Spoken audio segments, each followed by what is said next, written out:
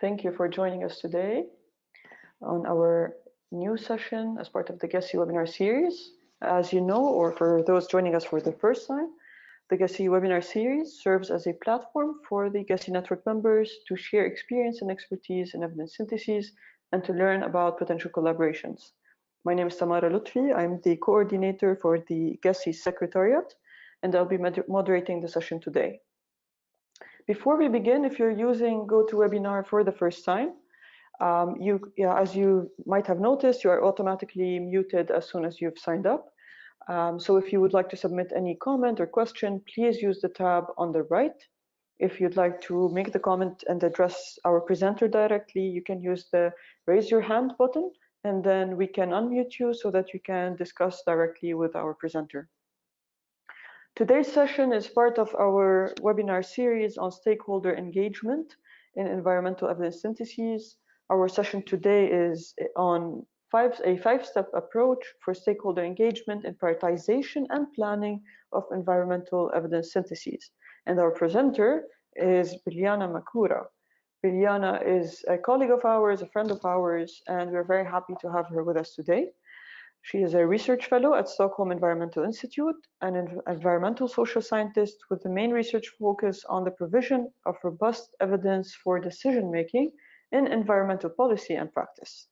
Biljana is conducting systematic evidence syntheses in the field of environmental management and working on the improvement of systematic review methods in the same field. She is a co-creator of ROSES, uh, which stands for Reporting Standards, for uh, systematic reviews in environmental uh, field and editorial manager of the Collaboration for Environmental Evidence journal Environmental Evidence. Thank you, Biljana, for joining us today. Thank you, Tom. Um, so in a few seconds, we'll be able to see your slides. Mm -hmm.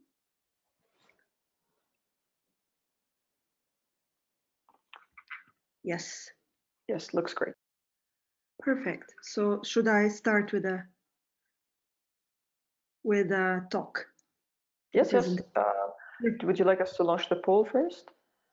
Um, no, I will. I will let you know. Okay, great. Okay, so sorry about this. So hello everyone. Everyone, uh, as uh, thanks uh, Tamara for the introduction. As Tamara already mentioned, I will um, today uh, hopefully give you an interesting um, overview of uh, an approach that we were using in a project I was involved a couple of years ago in. And this is approach for stakeholder engagement in uh, priority, uh, prioritization and planning of environmental uh, evidence uh, synthesis. Okay, so um, this is just an, an, an, overview of how this um, uh, webinar will uh, will look like. First, I will give you a little bit of an introduction to stakeholder engagement. Then uh, I will try to introduce um, stakeholder engagement approach and give you some examples. Uh, then I will share the challenges, the lessons we learned um, while applying this approach, and also provide some recommendations. And finally, hopefully, we will have some time uh, at the very end to um, discuss and clarify uh, things that you would like to know more about um, the approach I'm going to uh, present. Okay, so first, um, to get us into the right kind of thinking, I would like you to answer a poll question. And I would like you to uh, tell me whether you have ever attempted to co-create or co-design your research with so-called non-experts. I'm interested to know how many people have been engaged in uh, co-creation or co-design processes.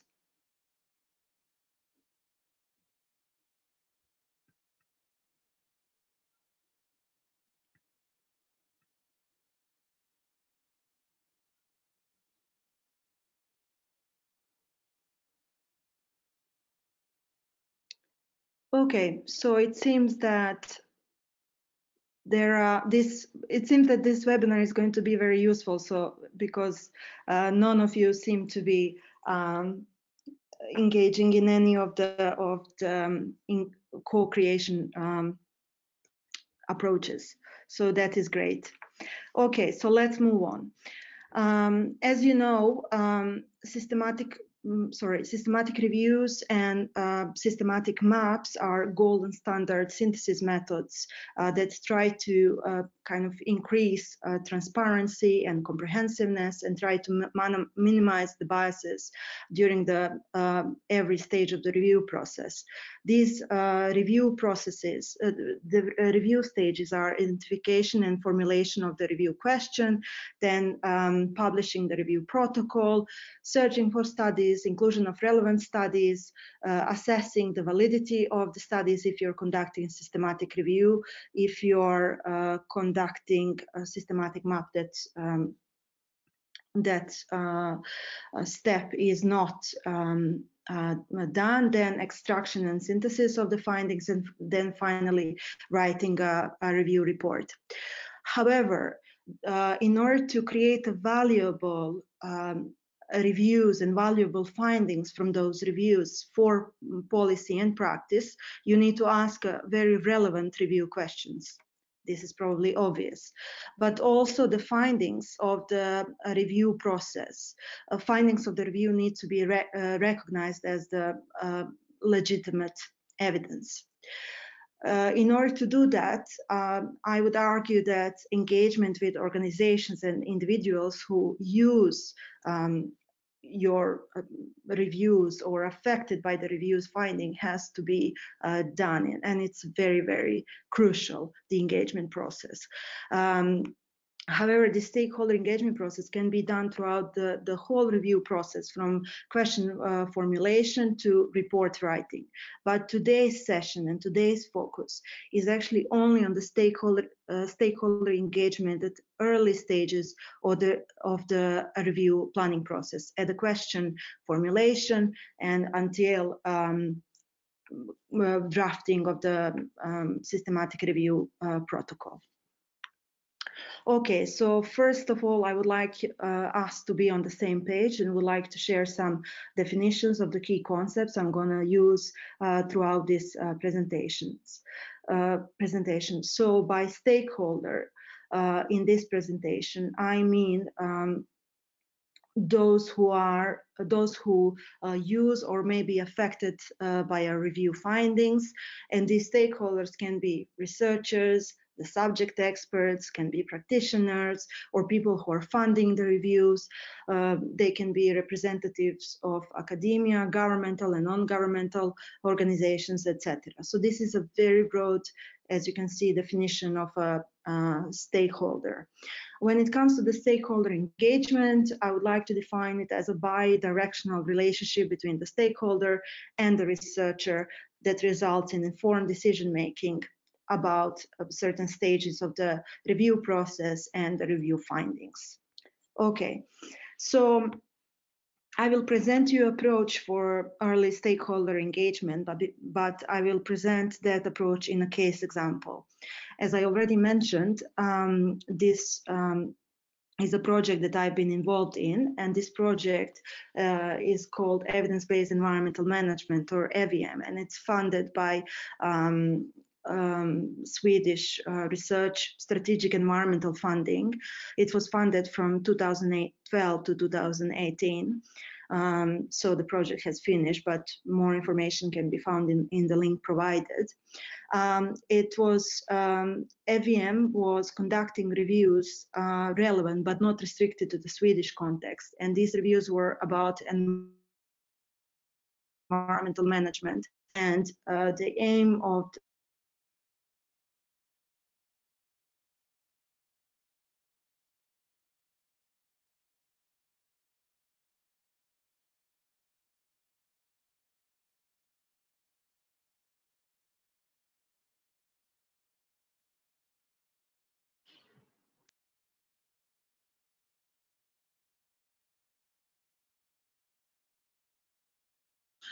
Biljana, we uh, can't hear. final. Yes? Yeah, we now again. So can you please repeat the slide? Uh, this slide. Please. Yes. yes, so I'm uh, going to uh, I'm going to show the um, I'm going to show the approach on a case example of EviEM, which is a project was running from 2012 to 2018 and was financed by the Strategic Environmental uh, Council or Foundation. It's called MISTRA. Uh, more information is provided on the on the slide here. So uh, it, uh, EVM was conducting reviews relevant but not restricted to the Swedish context and aim was to improve the basis for decisions in Swedish environmental policy and management. Um, and it was composed of uh, executive committee, methodology expert, and was working with an international team of scientific experts. This uh, setup was giving financial and political independence of this body and these reviews that were produced were uh, reviews um, uh, that can be considered as a public goods because they were produced with a public um, or general audience in mind. Um, they were produced in an open access and they were not produced uh, just because uh, one one um, party was requesting that uh, review, but was produced in a, in a response to knowledge needs of multiple um, stakeholders.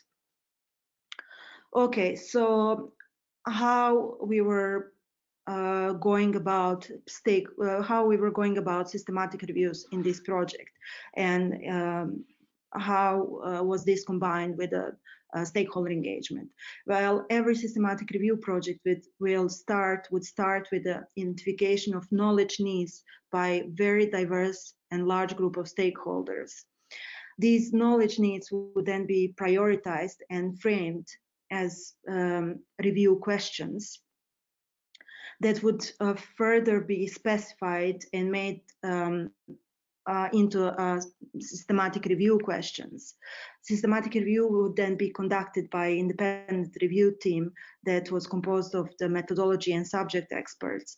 And then once the draft report was produced, uh, stakeholders would be invited again to comment on that uh, draft. Uh, finally, final report will be produced with the final uh, findings, and these uh, findings would then feed into the um, decision support tools.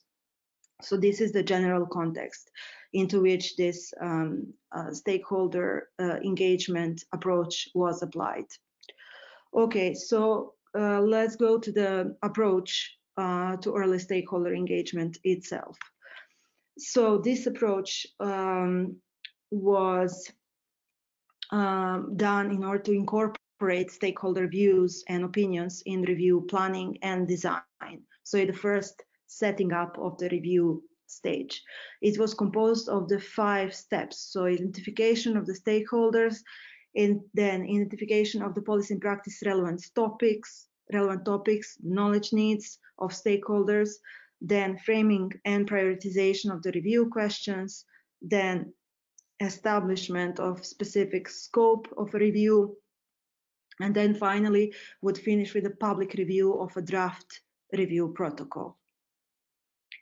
Okay, so this approach is published uh, in 2007 in a special issue on stakeholder engagement, and it's available in the link um, that is presented on this um, slide. Okay, so remember our evidence synthesis pathway from the beginning. Well, we are now focusing, uh, we are now uh, applying the stakeholder engagement approach just on this uh, first bit of um, systematic review uh, planning, as I already said. Okay, so how do we start uh, with stakeholder engagement? Obviously, this stakeholder, every stakeholder engagement process starts with the identification of the relevant stakeholders that are going to get involved uh, into the engagement process. This process is the most cru crucial process because um, depending on the stakeholders you select, you might have one or different types of the questions you, you end up reviewing, right?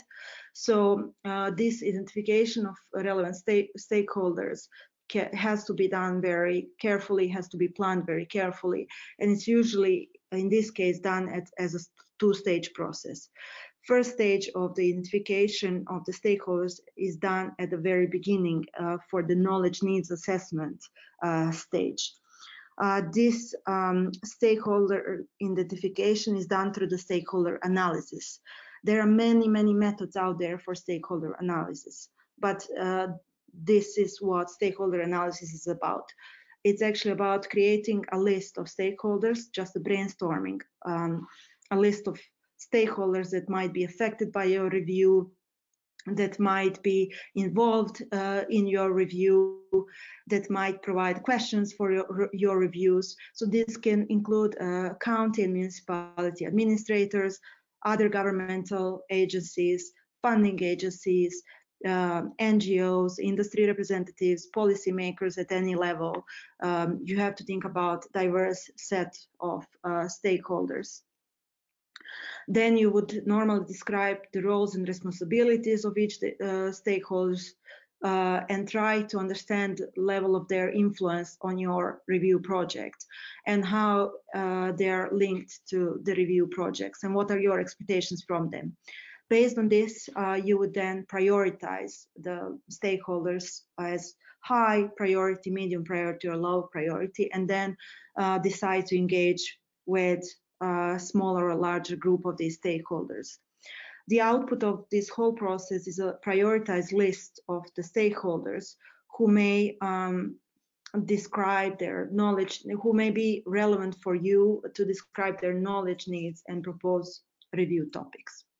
Okay, so once we identified relevant stakeholders, uh, we can then invite them for a meeting and we can engage with them and ask them for the needs for for for which kind of knowledge needs they have in order to um, make informed uh, decisions in in this case environmental policy and practice.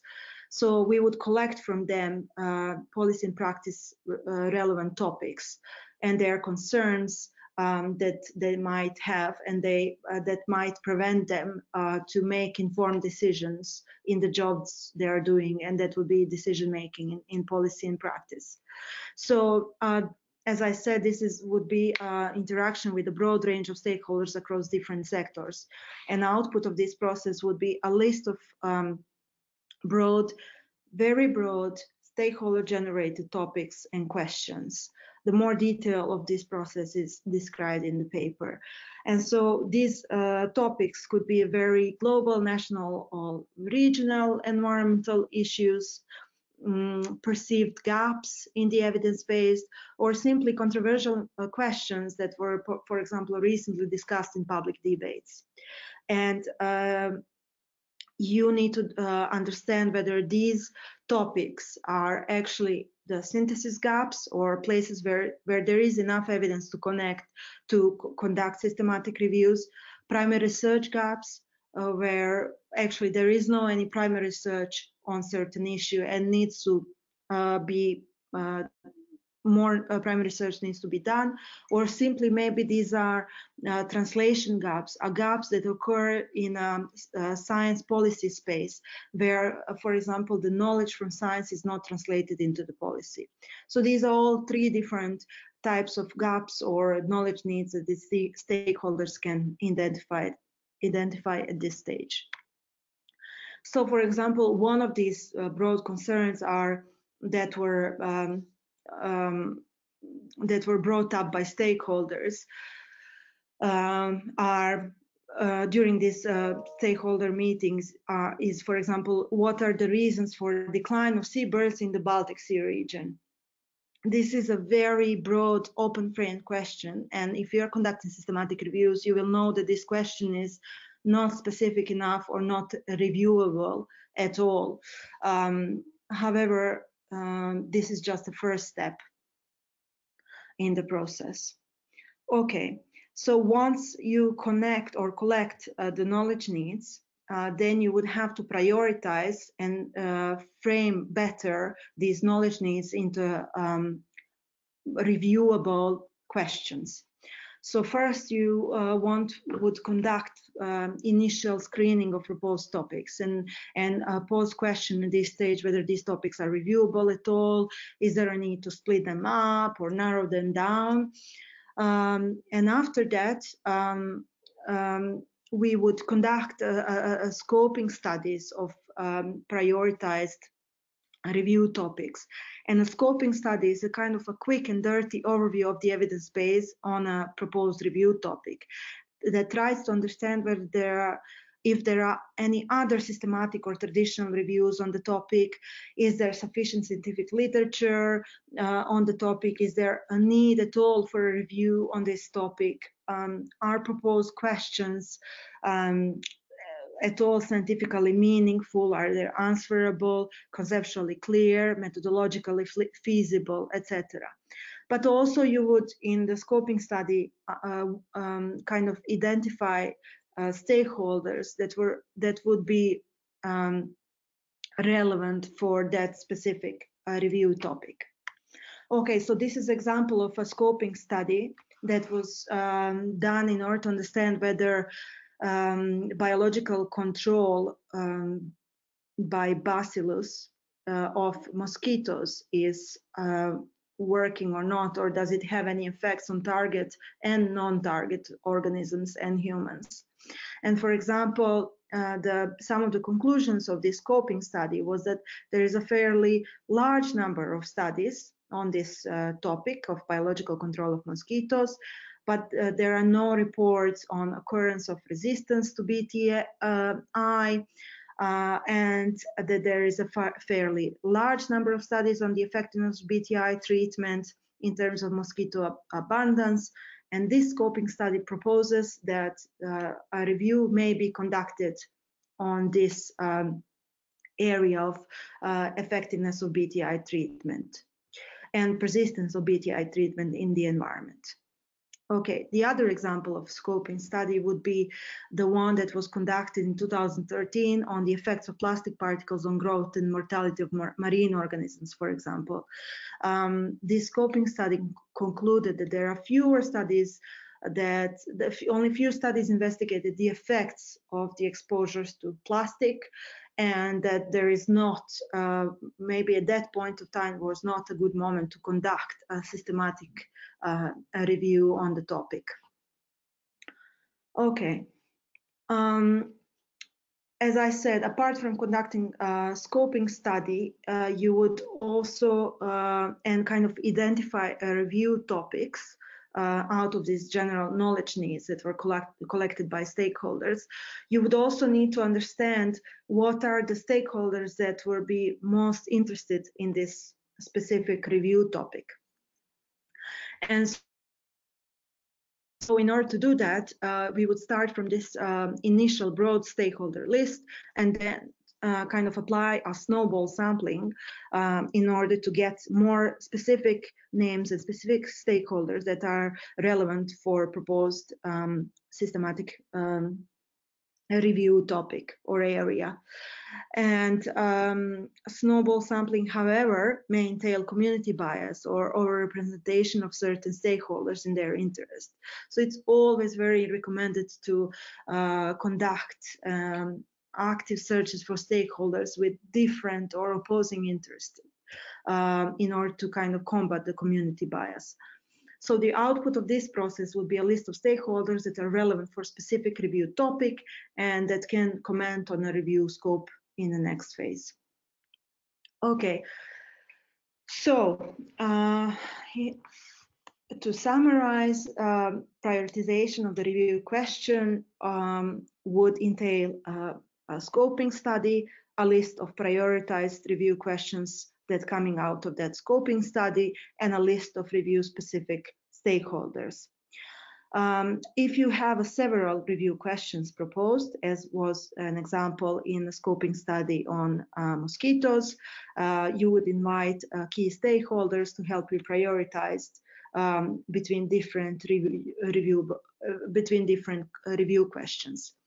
Uh, based on the scoping study, on the um, and additional stakeholder prioritization, um, in our case, EviEM would invite an independent body, which is an executive uh, committee, to make a final decision on the review question. Because obviously time and resources are, are limited, so additional prioritization um, and this final decision need to be made by an uh, independent uh, body external to the review team and stakeholders. Okay, so once you decide for a review topic, uh, this review topic might still not be relevant for all the stakeholders, might, might still be very broad, unclear, uh, etc. So then you would invite stakeholders um, again to um, a review specific meeting.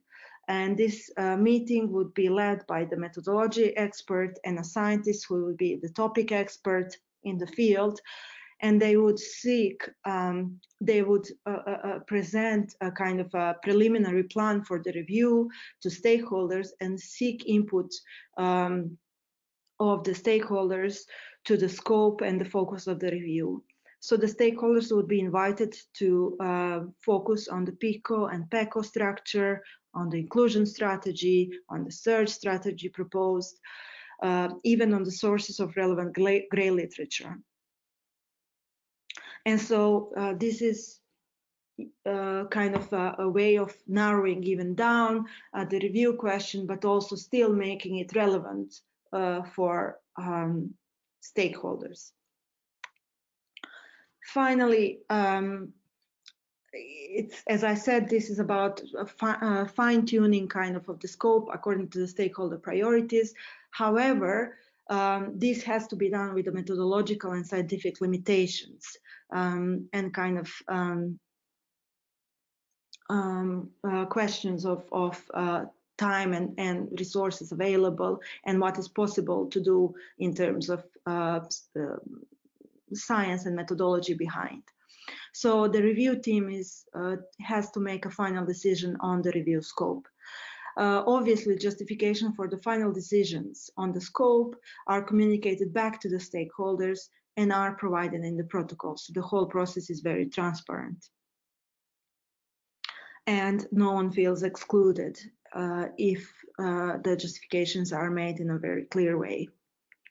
Okay, so for example, uh, a review on the ability of wetlands to remove nutrients from water that was now published in 2016 uh, during the, this final stakeholder engagement review specific meeting, um, during that meeting, the, the, review scope was extended to cover removal, for example, of phosphorus from water and not only of uh, nitrogen, uh, because that was more relevant to stakeholders, but also stakeholders expre expressed uh, the need to, uh, for example, focus only on created and restored wetlands, but to exclude natural wetlands um, from the from the review scope. Okay, so um, then a review protocol. Uh, once the, all these comments are, are uh, uh, collected from this engagement process, review protocol is being drafted by a review team, by methodology experts, by subject experts, and then this draft protocol is then open for public review. Uh, every everyone is uh, kind of invited to comment on this uh, draft protocol and um, obviously uh, uh, it, you have to put a time limit on, on this um, uh, public review. So in our case, it lasted two to three weeks. Um, and then these comments are incorporated in the final draft, in the final protocol, and this protocol is being published uh, independent body, in this case executive committee of our project would review the protocol development and stakeholder engagement process and finally approve the final final changes uh, to the protocol. And uh, this uh, early state with this um, early stakeholder engagement basically ends. Um, okay, in one of the examples, uh, re example reviews um, on roadside management, uh, roadside management uh, re review was um, initially to include management effects on vascular plants and all kinds of animals. However, during the open consultation stage, the scope was narrowed down to cover vascular plants and invertebrates only, and exclude, for example, mammals and birds because one of the stakeholders clarified that uh, mammals and birds would not be uh, good indicators of the impact of the roads, roadside management. Okay, so um, now I would like to share uh, with you some of the main challenges, lessons, and recommendations uh, from this uh, whole whole process and this whole uh, experience. Okay, so since we wanted to create reviews that are relevant for a broader audience, uh, we needed to include a broad uh, groups of stakeholders who would then comment and affect the scope of the review. However, this is obviously time and resource demanding. Um, this, although maybe in this present presentation, in this talk, may be uh, represented as a uh, linear process. This stakeholder engagement is a very iterative, non-linear process. Uh, it goes back and forth between the reviewer and um, and um, and the stakeholder group. This might be perceived as a challenge, uh, but this also can uh, be beneficial, obviously, to to to to the review team. Um, also, what we notice is that sometimes it's very difficult actually to respond to knowledge needs, desires, and expectations of the stakeholders and conceal these needs kind of with uh, established review methods. So you still uh, have to keep the systematic review rigor um, in, in, in the methods, but you uh, have to balance that with the stakeholder desires and expectations. And this can prove uh, uh, difficult. However, this was helped by having uh, ultimate decision making as the, as the executive committee as an ultimate decision maker who made a final decision throughout the throughout the stakeholder engagement process on, on for example review topics or review scope um, and kind of uh, put the final say um, on on on on where the the reviews uh, could could could could go and which topics could uh, they should address. Okay. However, um, it's very very important to engage with a representative, diverse, and well-balanced group of stakeholders. Like this, various biases and Western interests would be avoided. Um, if you are searching for typical groups of your stakeholders, always search for a range of different views within these typical groups. So if you invite uh, uh, NGOs, it, uh, uh, there should be a different kind of types of NGOs in that uh, stakeholder group. Um, it's if you are uh, for us was uh, quite easy because we were focusing only on the Swedish context and environmental management um, um, actors um, in Swedish context are very few. However, it's worth exploring the e-participation tool um, to kind of combat geographical bias and kind of spread the audience of uh, included in this engagement process you have to remember that reviewers gain from stakeholders, and this is a bi-directional exchange.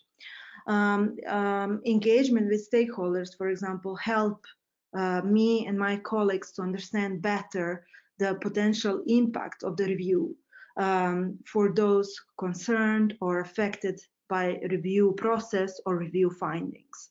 Without stakeholder engagement, at especially this very early stage, we were unable to kind of think of predict of potential impact and we would uh, not be able to create uh, questions that um, we would we would uh, we are we were more able to create questions that would be more kind of perceptive of different values and different views.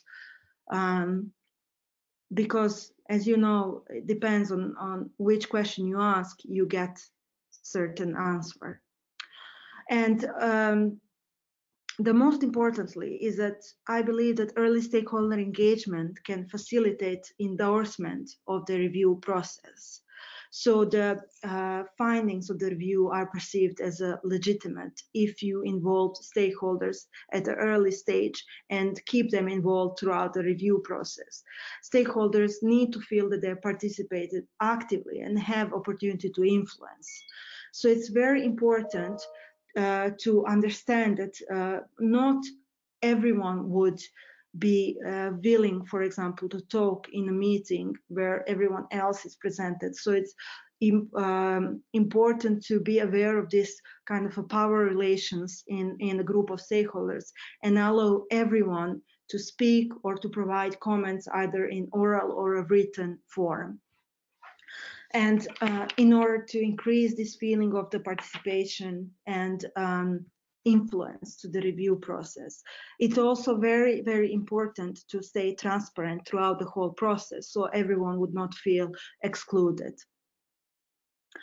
Uh, and this actually will, um, at the end, pay um, at the end of the review process can pay better because then you uh, also have stakeholders to which a group of uh, established stakeholders to whom you can communicate your findings and hopefully hope that these findings will be taken up to uh, uh, further up to decision making process because these decision make makers have been involved in uh, production um, or production of this of the evidence they're going to use or they at least influence the production of the evidence that they're going to use in their decision making.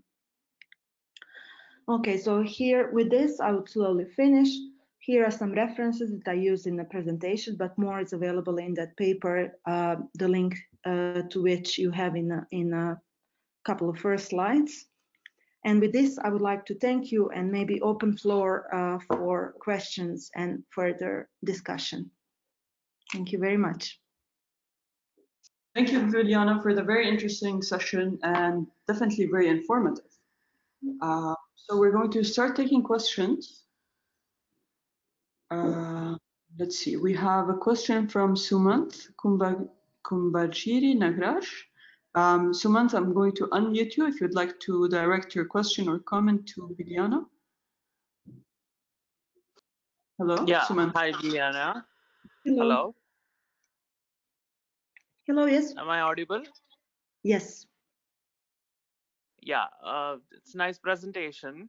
Um, I'm from uh, India, working presently in Malaysia. When you talk about uh, including diverse stakeholders, I have a question. Uh, if the diverse stakeholders talk different language and understand different languages, and there is no common language, uh, do you have any suggestion? How do we include them in in the research?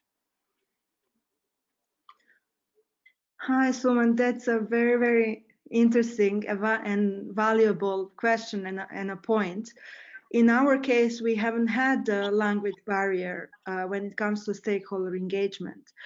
But um, I assume that then engagement would, would have to uh, be done uh, through some kind of maybe not through a face-to-face -face meetings, but through a kind of a e-participation where, where you would have to um, translate um, your uh, questions um, that would be um, kind of posed to, to different types of uh, stakeholders with uh, uh, different um, talking different languages. So perhaps these e-participation platforms uh, where the engagement can be done in a virtual space in different languages facilitated by by a review expert that and, and help with a with a translator, I assume, would be the better approach.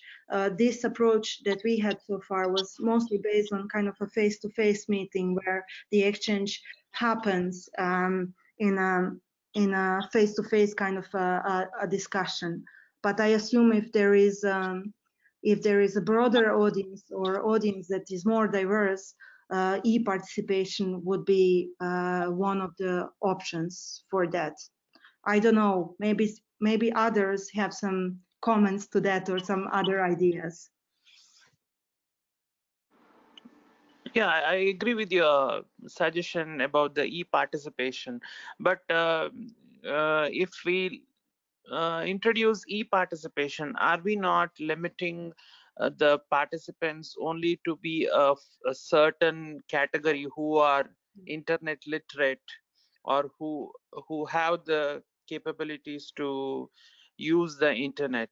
What about um, people who don't have internet facilities, who are not computer literate? Yes, that's a very, Are we- very good are- point. Yeah. Are we not excluding them by telling that we will include in the e-platform? Yes, we do definitely. So you would then include some kind of bias in your sample of stakeholders. So I guess, um, I don't know, you would have to have uh, translators um, in, in, in your, Yeah. during your meetings. This, this seems to be like a, like a only solution. I'm sorry Yeah. that I cannot provide any more clever answer. No, no. Thank you. Thank you. Thank you. This is actually a very interesting comment, and we face that with many of um, interventions or activities that are uh, that are based actually on internet. But um, so Sumant, I would actually like to ask you, how would you suggest uh, dealing with this, or what would be an alternative that would not be restricted? Uh, actually, that, uh, that would not be restricted by specific access uh, recommendations or requests. Um, I think uh, definitely as a suggestion came that we need to hire a translator and um, I would rather go for a interview. Um, I would uh, select my stakeholders and uh, I would interview them probably what is their um, opinion and uh, I would collate the findings I, I don't see any other uh, way to get the information from different strata of the society. Hmm. Yeah. Yeah, thank you. That's very interesting. Yeah, definitely. Okay. So thank you, Sumant, for your input and for this discussion. Um, we still have a few minutes, so if anyone else would like to uh, make a comment or ask a question, um, discuss directly with Biljana, please feel free to uh, send your question now or raise your hand uh, so that we unmute you. Tamara, maybe I can ask one very general question. Yes, definitely. Go ahead. Um, I wonder if, um, and thanks Sumit for starting this, but is anyone, does anyone else see any other challenges of the presented report, uh, presented approach in your working context? I would be very much interested to, to hear uh, more about that, since this approach was really, appro uh, really, really applied only to one very specific context.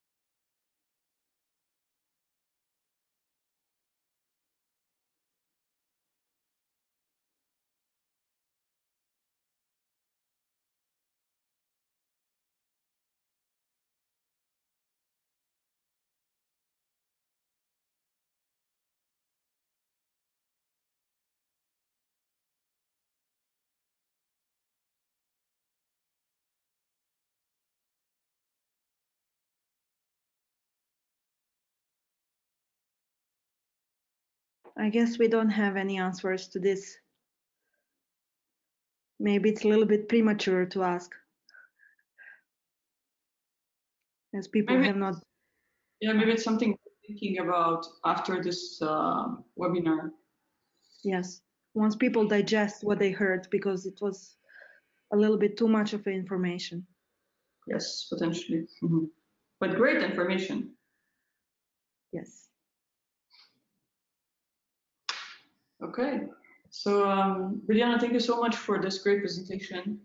Um, and I thank our attendees for joining us today. Please make sure to follow us for the other sessions for this webinar series. If you have any questions, please feel free to um, send to uh, Biljana or send us the question. We can direct you and connect you with Biljana. Thank you very much once again, everyone, and thanks Tamara for hosting this uh, webinar. Thank you so much, Biljana. Take care now. Bye.